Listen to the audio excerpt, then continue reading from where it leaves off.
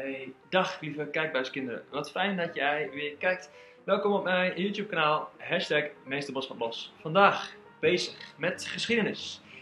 Thema 5, les 4. Uh, we hebben het over een tijd van oorlogen en gelukkig komt er aan deze tijd van oorlogen een eind. Uh, na de Koude Oorlog en na de Eerste en de Tweede Wereldoorlog uh, wordt er eigenlijk in Europa gezegd: jongens, dit willen we niet meer. We willen eigenlijk nooit meer oorlog.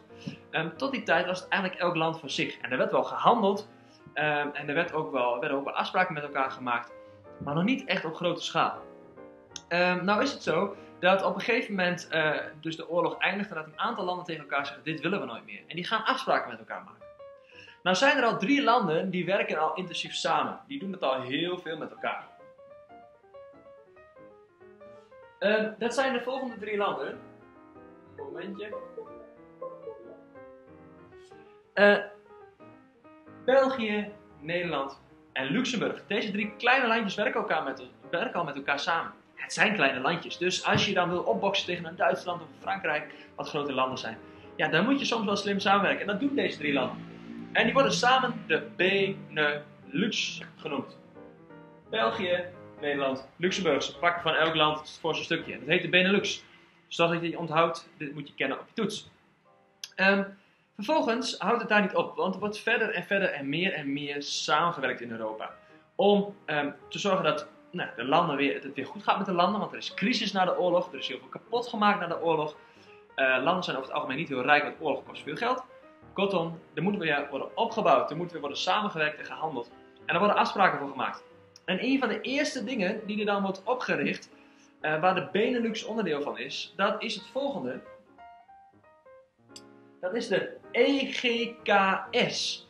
Moet je kennen voor je toets. De EGKS die wordt opgericht in uh, 1951.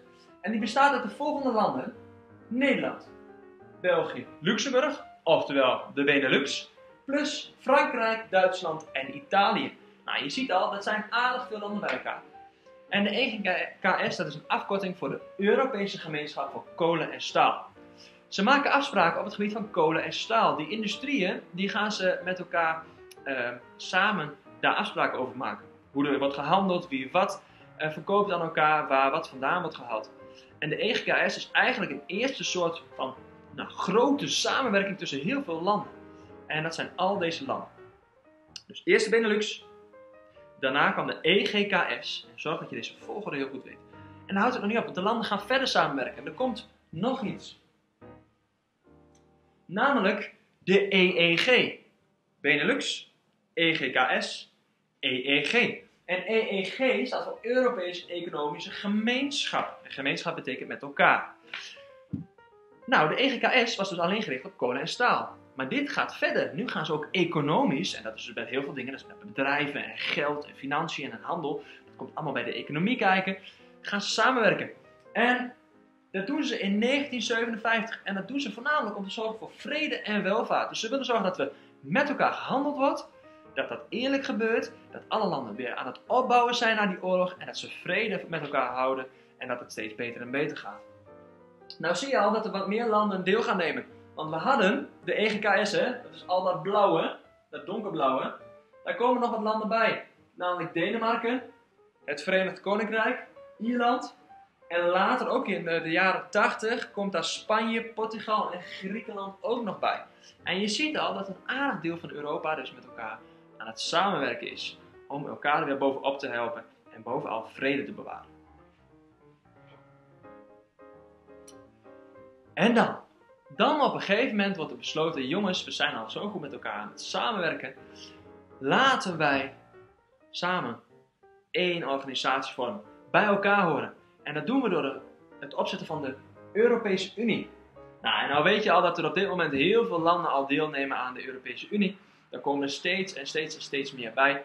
Um, we beginnen dus met de Benelux, daarna de EGKS, dan de EEG. En uiteindelijk komen we bij de Europese Unie. En afgekort heet dat ook al de EU. Zorg dat je deze volgorde weet, want daar wordt in je toetsen vragen over gesteld. Dus onthoud dat goed. De Europese Unie. Ja, er verandert iets in Europa. Nou is de Europese Unie niet hetzelfde als Europa. Want niet alle landen in Europa zijn ook deel van de Europese Unie. Mag je mij even op pauze zetten en gaan zoeken op internet of jij erachter kunt komen welk land of welke landen er in Europa liggen die niet onderdeel van de Europese Unie zijn. Heb je ze gevonden? Misschien heb je wel op deze kaart een van die landen gezien. Want Zwitserland, zie je daar al liggen, is geen onderdeel van de Europese Unie. En er staat ook een foutje op deze kaart. Want misschien ken je de term Brexit wel, oftewel de exit, dat is een Engels woord voor uh, uitgang van uh, Engeland, van het Verenigd Koninkrijk. Uh, die willen niet meer bij de Europese Unie horen. Dus, en die staan hier nog wel als onderdeel ervan op. Ja, dat dus. Mooi, bedankt voor je zoektocht. We gaan even kijken naar een filmpje.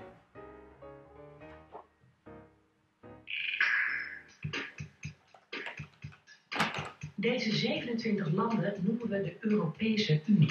Ze werken samen om makkelijker en goedkoper te kunnen handelen. En als je samenwerkt, is ook de kans op een oorlog veel kleiner. De burgers van de Europese Unie mogen binnen de grenzen van die 27 landen vrij reizen en ze mogen gaan wonen waar ze willen. De landen van de EU maken ook andere afspraken over landbouw en visserij bijvoorbeeld. Met alle boeren uit de EU-landen wordt een eerlijk bedrag afgesproken voor hun graan, de aardappelen die ze verbouwen of de melk. En met de vissers uit de EU-landen worden ook afspraken gemaakt over op welke vis ze mogen vissen en hoeveel ze mogen vangen, zodat ze die zee niet leegvissen. Maar door die afspraken en Europese wetten komt er een eerlijkere handel. Ook voor het verkeer, de veiligheid en het milieu worden er speciale Europese wetten gemaakt. En die wetten gelden dan voor alle landen die lid zijn van de Europese Unie. Pragnę Państwa poinformować, że świętym mandatu przedsiębiorów naszych kolegów, kolega,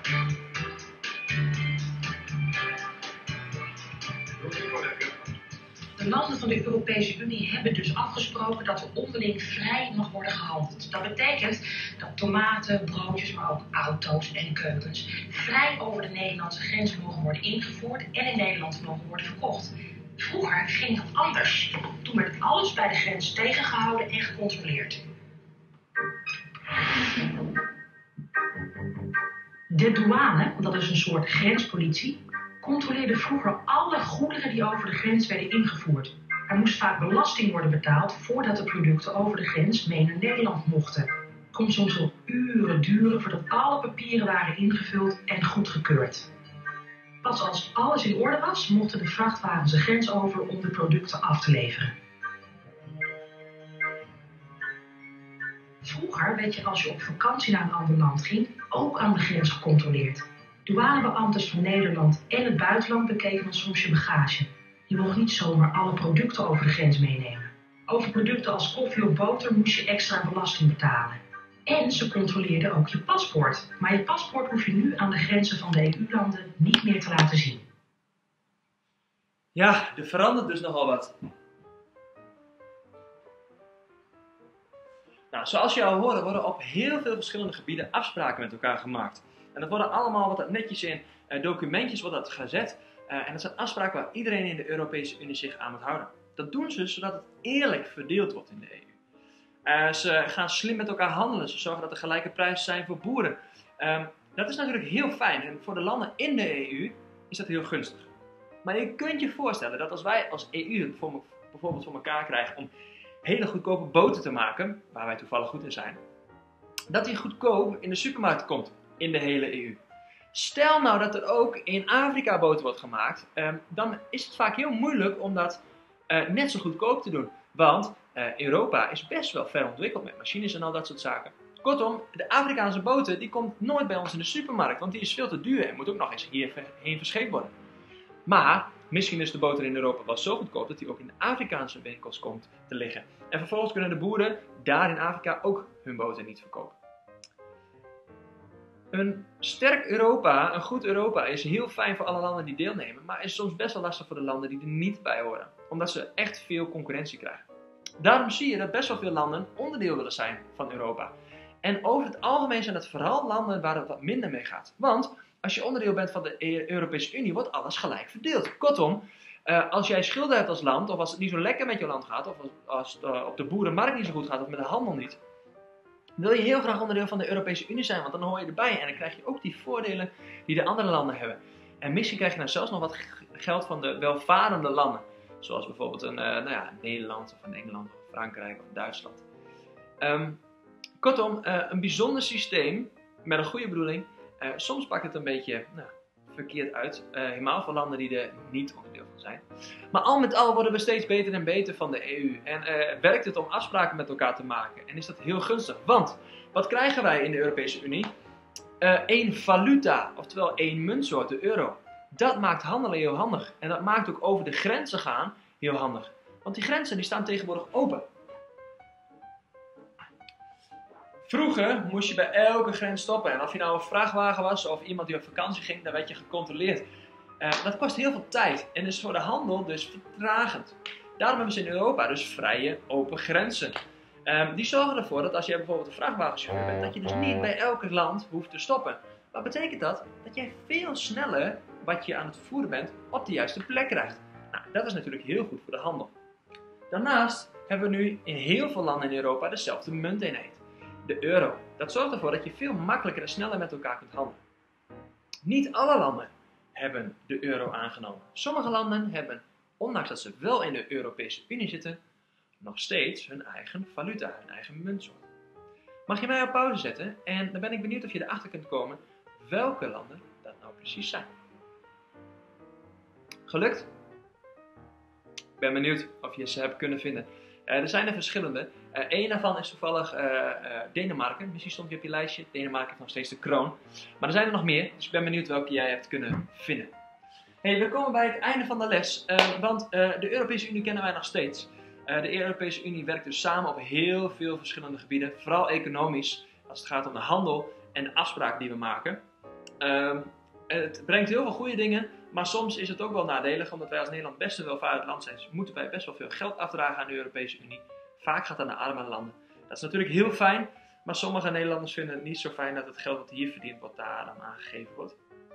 Ehm, persoonlijk denk ik dat de Europese Unie wel goed voor ons is, ehm, omdat we mm, nou, goed kunnen samenwerken en handelen.